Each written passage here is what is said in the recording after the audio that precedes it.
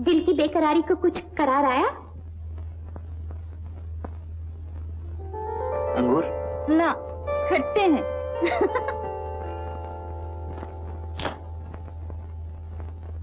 वो हाथ जिसके छू लेने से मेरे दिल की बेकरारी को करार है वो हाथ सिर्फ़ गायत्री का हो सकता है। तो फिर यहाँ क्यों आए? हरिद्वार का टिकट कटाना था। मैं यहाँ खुद नहीं आया। लाया गया इस जहन्नुम में शराब लाई है मुझे। नहीं नहीं मालूम होते हो। चलो।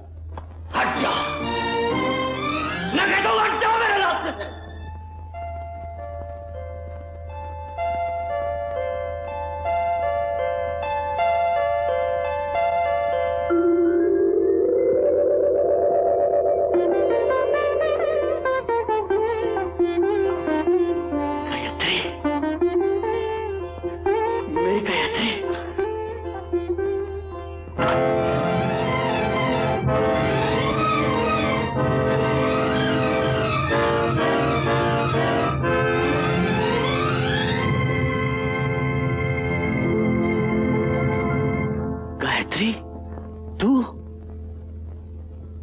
और और ऐसी जगह? नहीं नहीं आप मैं मैं यहाँ काम करती हूँ। यहाँ? इस जहन्नम में? गायत्री गाँव वाले जो कहते हैं क्या वो क्या वो सच है? क्या वो सच है गायत्री? बोलती क्यों नहीं सच्चाई की जबान आज़ाद नहीं होती। उस पर ताले पड़े होते हैं। अगर तू पवित्र है तो तोड़ दे ये ताले। बता लोग तेरी बुराई क्यों करते हैं? मेरे जाने के बाद क्या हुआ? सच्चाई क्या है? गायत्री तेरी जबान से निकले हुए एक लफ्ज से मेरी लुटी हुई खुशियाँ वापस आ सकती है मेरी वीरान ज़िंदगी में फिर से बाहर आ सकती है।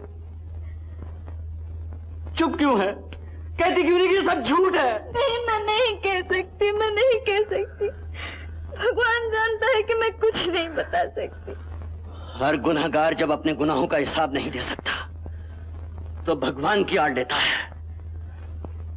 तू और इस घर में अब मैं और कुछ जानना भी नहीं चाहता। सच सच है मेरी आँखों के सामने है। सच्चाई कभी आँखों से नज़र नहीं आती। भूल जाइए कि सच क्या है और झूठ क्या है। घर जाकर अपने पिता की आज्ञा का पालन कीजिए। सीधे रास्ते पर चलिए। आपकी ज़िंदगी आपकी ज़िंदगी शराब में इस तरह तबाह हो जाने के लिए नहीं है। दूसरों की खुशियाँ पूरी करने के लिए है। तू मुझे ज़िंदगी का सबक सिखा रही है। खुद रास्ते से भटक कर मुझे रास्ता दिखा रही है। मेरी तबाही का कारण तू है। ना मैं तुझे रेलगाड़ी में मिलता। और न झूठी मोहब्बत के धोखे में आता।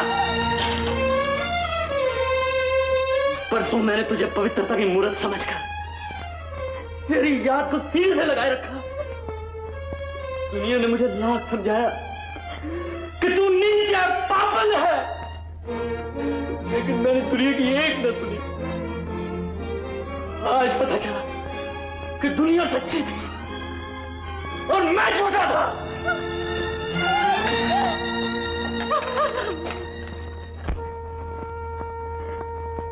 गायत्री?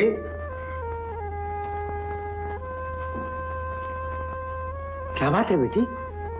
कुछ नहीं। बाबा हाँ। यहाँ जी नहीं लगता। चलो कहीं और चलें। अगर जाना ही है तो रामनगर क्यों नहीं चला जाए बेटी? सुना है वहाँ की पाठशाला में मास्टरनी की ज़रूरत है। नौकरी कर लेना जी लग जाएगा। कहीं भी चलो बाबा लेकिन यहाँ से चलो। अच्छा अच्छा बेटी चलेंगे।